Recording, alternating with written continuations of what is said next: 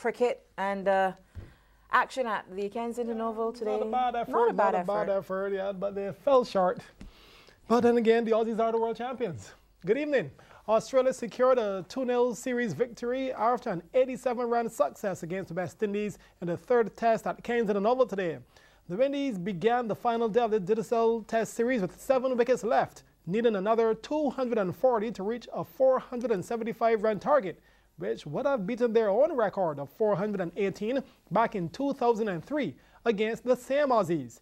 Now, for a while, the dream was on as Dwayne Bravo hit four sixes in his 69 to take them within 173 for no further loss. But he and man of the series, Shivnarine Chanderpaul, who made 50 today, fell in consecutive overs. And 22 overs later, the entire innings ended on 387. Here are the highlights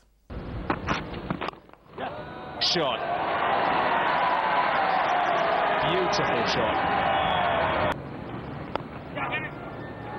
50 for Dwayne Bravo, taking a single to cover point.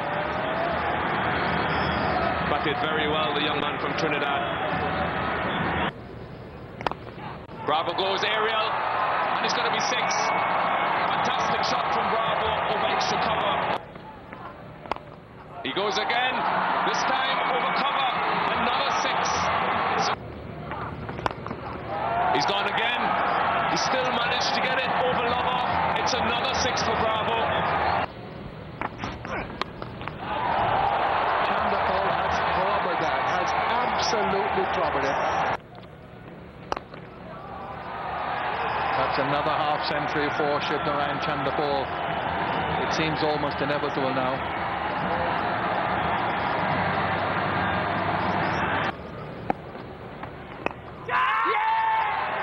And there's an appeal.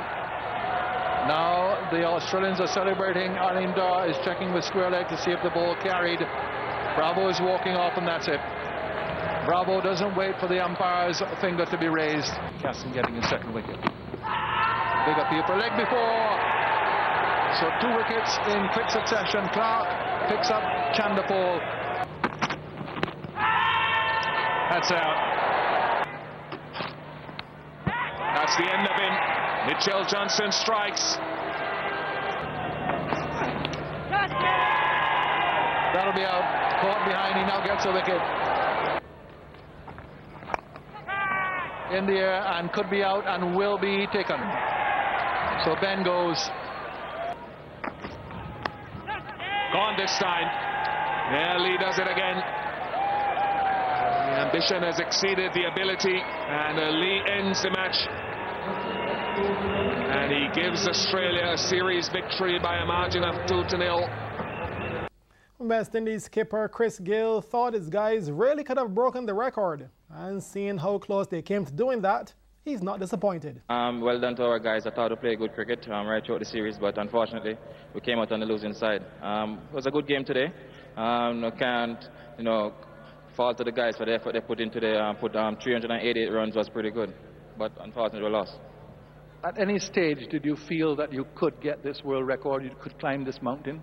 Yeah, definitely. Um, but um, we knew that um, it's not going to be easy. Someone have to get a big 100, and which we didn't get in this game. Um, you know, partnership is key in this game, um, innings as well. So once we batted out the day, we know who to get the runs, but we didn't. This this this display didn't happen today.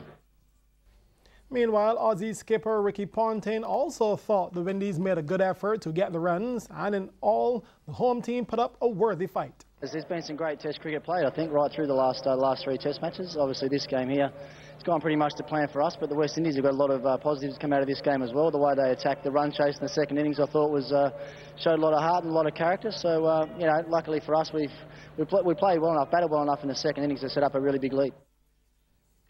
Now, large lines at Kensington Oval this morning certainly showed encouraging signs that the Windies had their fans behind them. From as early as 9 a.m., thousands of spectators were patiently lined up outside the Oval, buying tickets at reduced prices to get inside for today's final day.